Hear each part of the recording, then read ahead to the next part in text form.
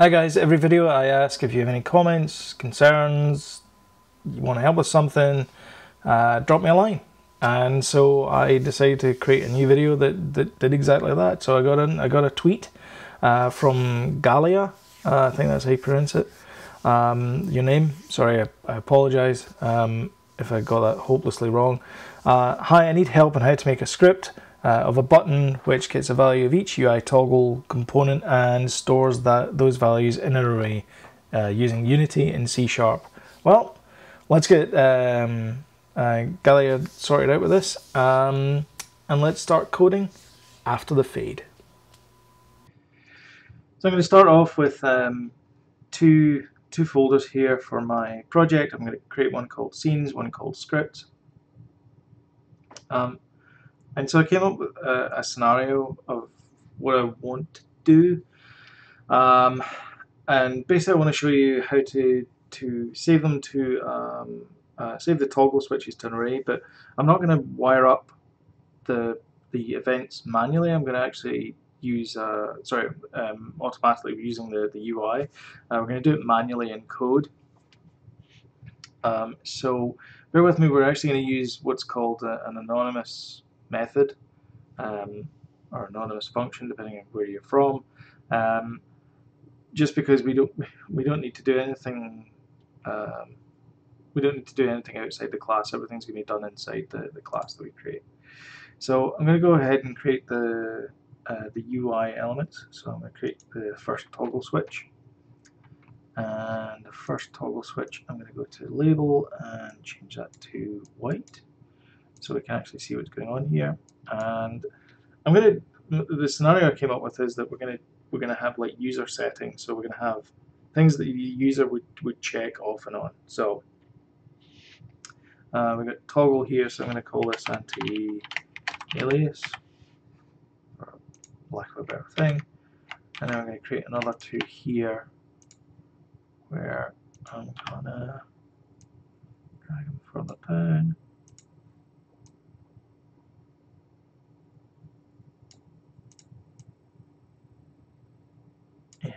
So this one is going to be called uh, Rumble.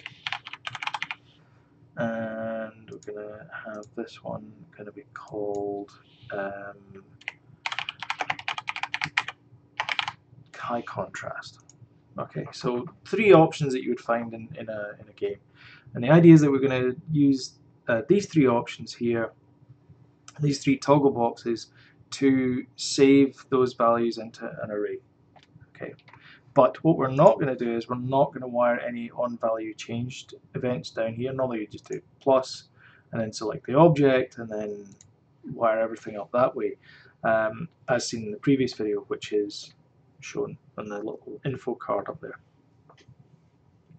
We're not going to do that. We are going to do it inside code. So for that I'm going to create a script called um, call it settings controller. And I'm going to create a new empty blank object and I'm also going to call that settings controller. If it'll let me. And I am just going to drag that onto the settings controller. So that's my script onto my settings controller let go and then it gets added there. And then I'm going to boot up Visual Studio.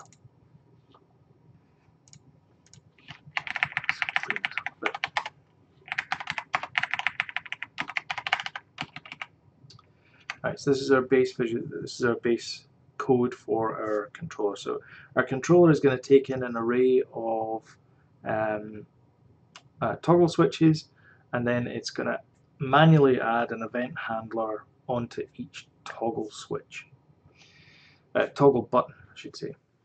And it's going to take those values and it's going to store them inside the internal boolean array. Now, we're going to assume a few things here. We're going to assume that the default value for each button is checked and that um, the user hasn't changed any settings. So we haven't done any saving and loading. And We can do a part two to this uh, if you if you want. Uh, where we can actually save this out onto to disk.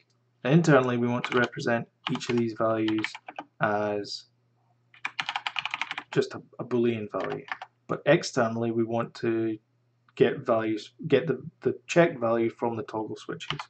So we're going to public toggle. You notice that, that you got a red squiggly there, that's easy fix, you just do control dot and then you want to add the using for unityengine.ui. Um, and then we're going to have a start function. The start function is going to do pretty much all the work uh, for this, um, but it needs to um, set up the, the, the array here based on the number of toggles that we have here, uh, and then set those default values.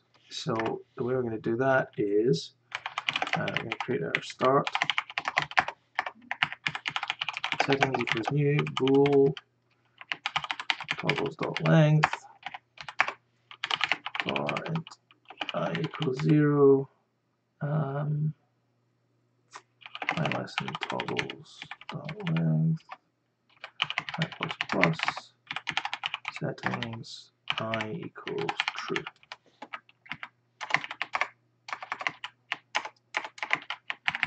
Okay, so that's as we've set up our boolean array. Now what we need to do is we need to go through each of those toggle values and set the array. Now we already have a for loop here, so let's just co-opt that. Um, toggle t equals toggles i. So we're taking each toggle in turn. Uh, and you notice that there is an on value changed field here. Uh, this field is already set, it already has a value, and we want to add a listener to it. Now the listener is basically, what this is doing is, it's effectively doing exactly the same thing as you would do down here. So on value changed, you see it takes in a boolean value, so on value changed is this here. So you do, um, let's say you would have you, you would have a traditional way of doing this, which would be public void um, checkbox bool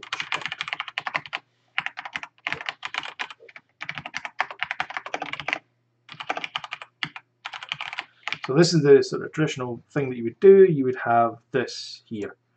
Uh, and then you would add the array by doing on value change, add listener, and then you would specify checkbox. Okay, and you're done. At that point, you're done.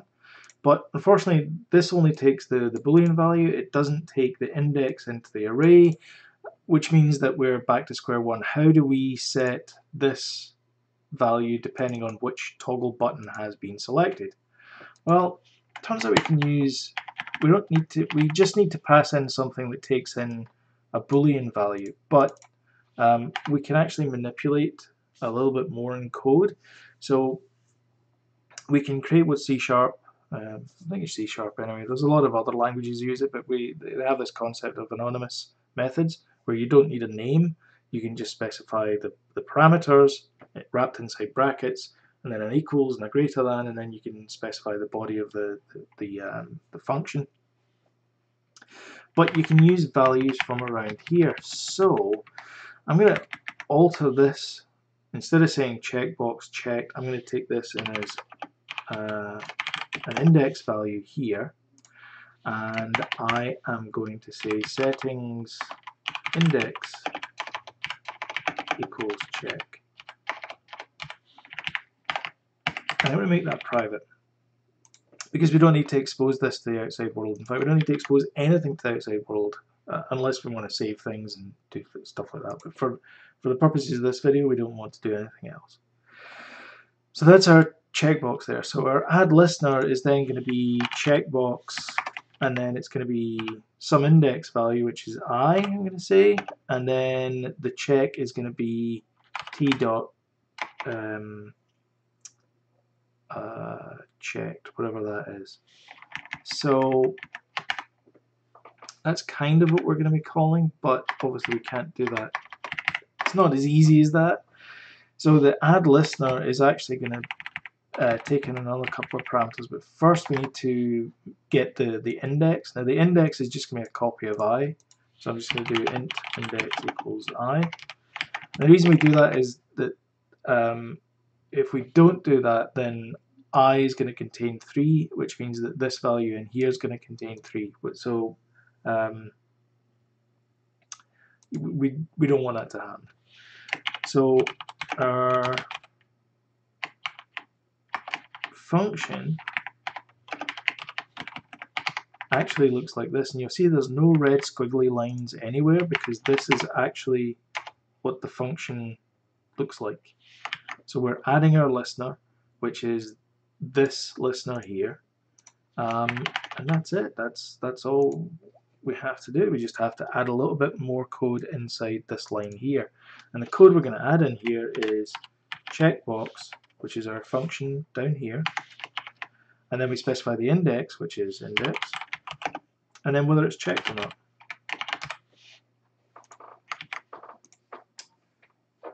And that's it that's all we need to do so if I set a breakpoint here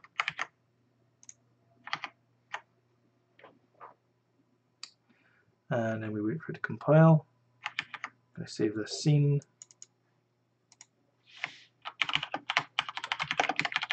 call it UI toggle array. Um, and I attach to Unity.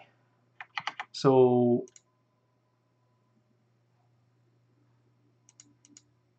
um, so this is our zeroth element, this is our first element, and this is our second element. So if I untap this, you see that nothing's happened other than you know the UI changes.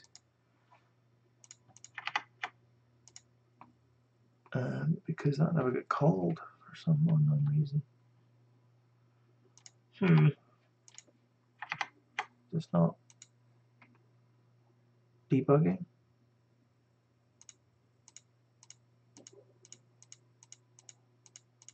Uh, that's not good. I'll tell you why. Whoops. Um, okay. Let's set the toggles of values. So over here we have these toggles. Um, we didn't actually set them. You see it says size 0.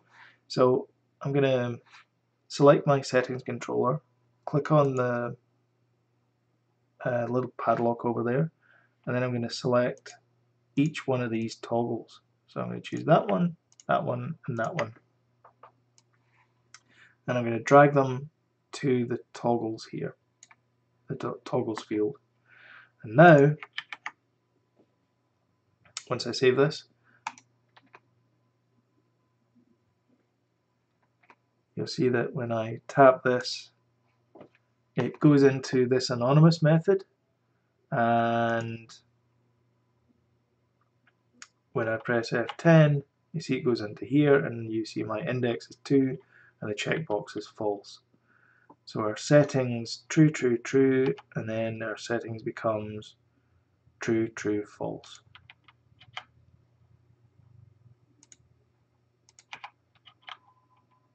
So our settings were true true false and now they become true true true. And that works for every single one of these. Okay. So that's how you can take an array of uh, toggles, toggle buttons and store them in an actual boolean array. So there you go, taking toggle buttons and storing them in a boolean array. Fairly easy, not much code, it's what 10 lines of code there. Uh, not, not a huge uh, heck of a lot, but it'd be handy, you know, if you have like a, a settings file or, or those kind of things, and you want to you want to store those um, uh, in a, in a file, uh, in a settings file, even for your game, the settings for your game. So yeah, um, thank you very much for watching, um, and until next time, um, keep coding, and uh, yeah, just uh, have fun and and you know enjoy yourselves, I guess. Um, you don't need my permission to do that. You can enjoy yourselves as much as you want. Um, so if you liked the video, then uh, thumbs up. If you didn't like the video, thumbs down. Uh, please leave a comment. Uh, feel free to subscribe and you get timely reminders. Uh, if you want to, to follow me on Twitter, I'm, I'm right here-ish there. Um, yeah, um, thanks. Um, cheers. Thanks for watching.